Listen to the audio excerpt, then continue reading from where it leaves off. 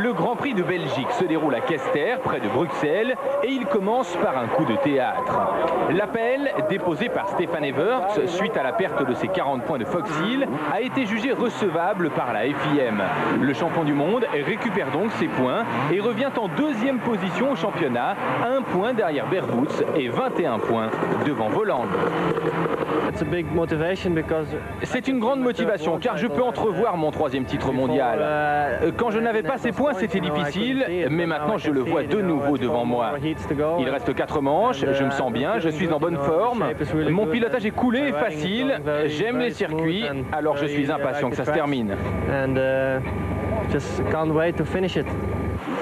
On commence à s'y habituer et Frédéric Bollet signe la pole position dans le groupe A. C'est sa troisième pole de la saison et la deuxième consécutive après Ifendic où il était passé tout près de sa première victoire de manche.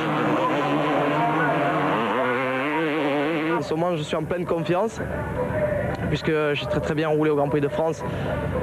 Donc euh, je suis vraiment très confiant, la moto marche super bien, moi je vais très très bien physiquement, donc euh, je dirais euh, aujourd'hui tout va bien, tout est, tout est là quoi.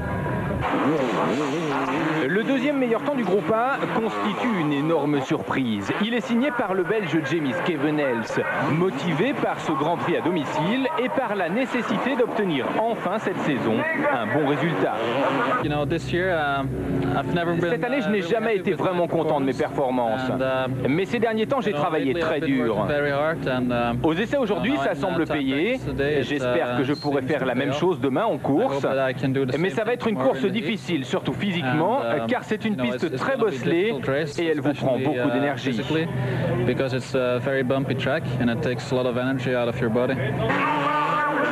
Troisième du groupe A, Marnik Berwoods, le leader du championnat du monde. Avec un seul point d'avance sur Evers, plus question de gérer. Sa tactique va désormais être la même que celle de son adversaire, attaquer pour gagner.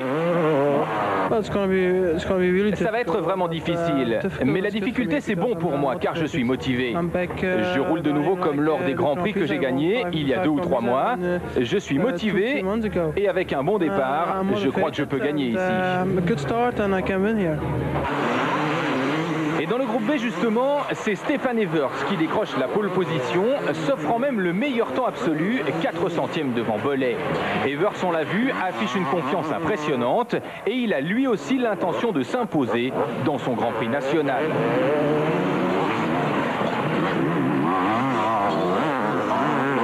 Le plus important, c'est que je sois devant Marnik et Tellon. Mais bien sûr, je veux gagner. Je suis devant mon public. Et les dernières courses ici se sont très bien passées. Alors j'espère encore gagner. Deuxième du groupe B, encore une surprise, c'est l'Allemand Pete Bayer, de retour sur les circuits un mois seulement après une fracture de la main.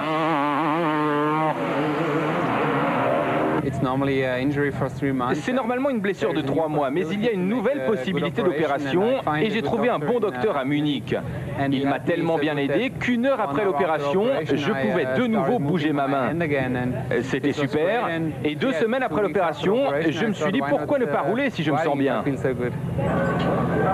Après avoir raté les Grands Prix de San Marin et de France, Bayer a bien sûr oublié définitivement son objectif de début d'année, finir dans les trois premiers. Mais il espère quand même faire une bonne fin de saison. Maintenant, je vais juste essayer de faire de très bonnes courses, être en forme et me battre avec les meilleurs. Alors ce sera plus facile pour m'entraîner cet hiver que si j'étais sorti de trois mois de blessure pour entrer dans la pause hivernale, car à ce moment-là, revenir au meilleur niveau, c'est impossible. Troisième du groupe B, le troisième et dernier prétendant au titre, l'américain Telon Voland. Avec 20 points de retard sur les deux premiers et 4 manches encore à disputer, Voland sait que tout est possible s'il obtient ici un bon résultat. Mon objectif sur les deux dernières courses, c'est uniquement la victoire. Alors je me suis dit que ce n'était pas très important d'avoir le meilleur temps. Il fallait juste que je fasse le minimum de tours pour faire un chrono décent, avoir une bonne place sur la grille et garder toute mon énergie pour la course. Sixième en fin du groupe B, le Français Yves de Maria, vainqueur à San-Marin, mais contraint à l'abandon en France dans la deuxième manche. Il s'est ici blessé à un doigt aux essais. La poisse continue à s'acharner. Chaque fois que j'essaie de, de reprendre mes marques, ben, il m'arrive des petits soucis. Bon, on a eu un problème mécanique euh, au Grand Prix de France. Aujourd'hui, euh, je me suis fait mal en tapant une barrière. On a eu encore des, des petits problèmes de bougie. Mais bon, c'est comme ça, hein. c'est l'image de la saison, c'est difficile, mais il faut rester confiant. Et bon, aujourd'hui c'était les entraînements, demain je crois que ça sera encore un autre jour, ça sera différent, et puis on essaiera de faire le maximum.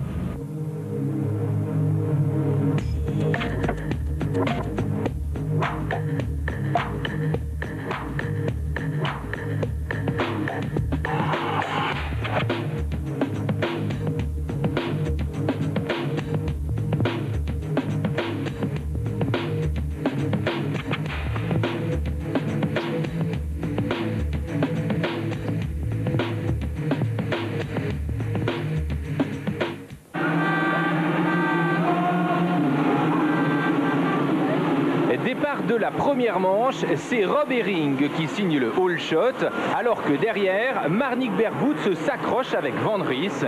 Fou de rage, se va perdre près de 30 secondes avant de repartir. Très loin déjà, c'est Rob Herring qui mène, suivi par Voland et Evert. Mais avant même la fin du premier tour, Voland s'empare du commandement.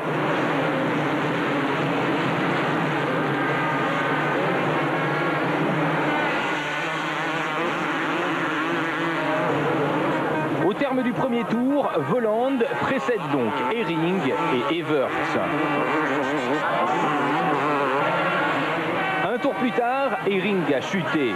Voland et Evers sont seuls en tête, suivis à distance par Bartolini, De Maria et Maurice.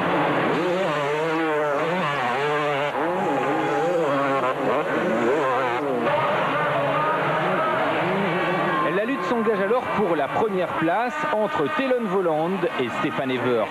Elle va durer 4 tours, puis dans la sixième boucle, Stéphane Evers va s'emparer du commandement de manière quelque peu virile.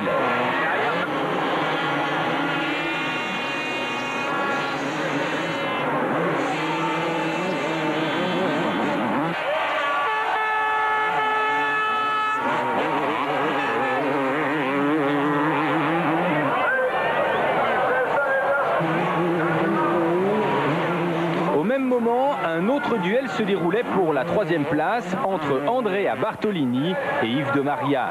Le Français va lui aussi passer. Il prendra la troisième place au sixième tour.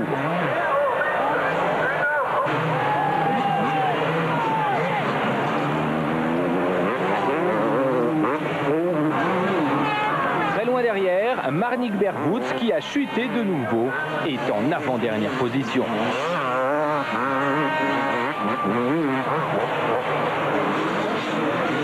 Après un tiers de course seulement, le classement des hommes de tête est déjà figé. Stéphane Evers caracole en tête et creuse l'écart tour après tour.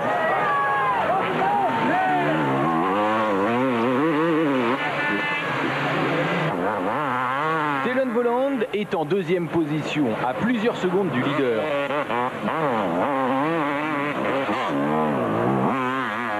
Maria est troisième, mais toujours talonné par Bartolini.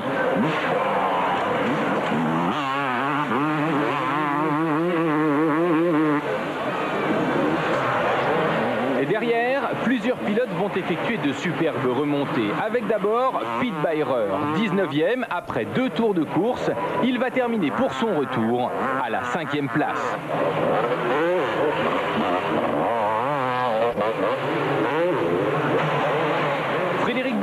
Réalise aussi une course magnifique, pointé 21e à la fin du premier tour. Il se classera 6e à l'arrivée.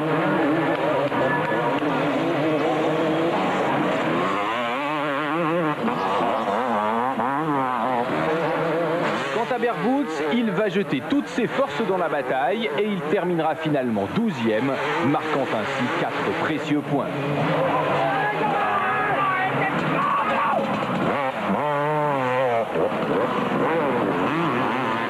Evers, lui, remporte facilement la première manche devant Voland, De Maria et Bartolini.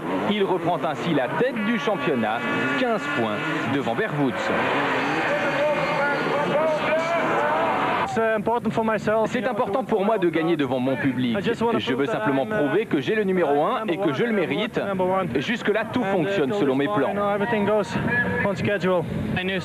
Je savais que Stéphane serait très rapide ici. J'ai pris quelques risques au début et puis quand il m'a passé, ce n'est pas qu'il était plus rapide que moi, mais il ne faisait aucune faute et moi j'en faisais quelques-unes.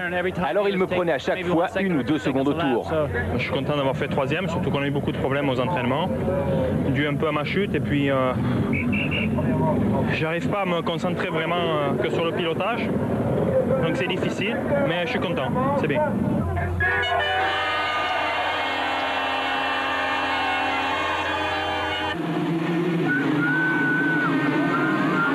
Deuxième départ, c'est André à Bartolini qui signe le all shot.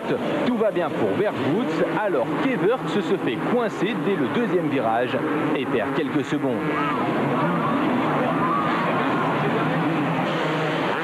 Premier tour, Bartolini précède Bayer et Hering qui se fait ravir la troisième place par Marnik Berwoods. Dès l'entrée du deuxième tour ensuite, Marnik Berwoods s'empare de la deuxième place aux dépens de Bayer. Puis il va ravir le commandement à Bartolini.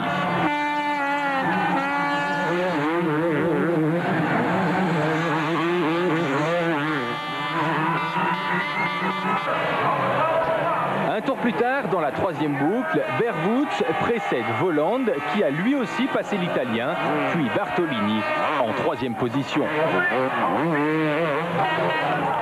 Berwoods ensuite commence immédiatement à faire le trou, surmotivé après ses déboires de la première manche, il s'envole vers la victoire.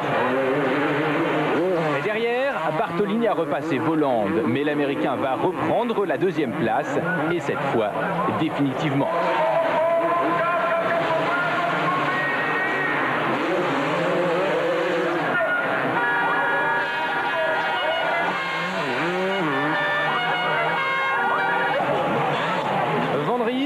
Maria, Bollet et Evert, bien revenus, sont eux en bagarre pour la quatrième place. Au huitième tour, De Maria et Bollet ont passé Van. Un tour plus tard, Stéphane Evert s'est intercalé entre les deux Français. Et c'est finalement Evert qui prendra la quatrième place au treizième tour. De Maria va terminer cinquième et Bollet sixième.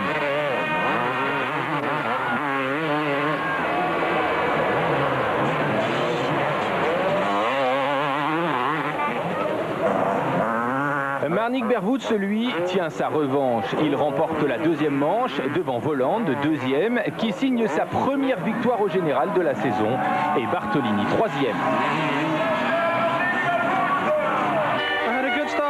J'ai pris un bon départ cette fois, sixième ou septième, et j'ai vraiment contrôlé la manche. Je suis content. En deux ou trois tours seulement, j'ai pris la tête, et j'ai pris 8 ou 9 secondes d'avance sur Talon. C'était suffisant. Je crois que si je n'avais pas gagné cette deuxième course, ça aurait été vraiment difficile pour le championnat. Je suis très très heureux. Je me suis entraîné tellement dur que je ne sentais plus mon corps en me couchant le soir et ça a payé. Je suis très bien parti. Mes amis courses, j'ai fatigué physiquement. Je ne pouvais plus tenir le rythme. Après, j'ai vu qu'Evert c'était à 20 secondes. Alors j'ai assuré dans les deux derniers tours. C'était une belle course.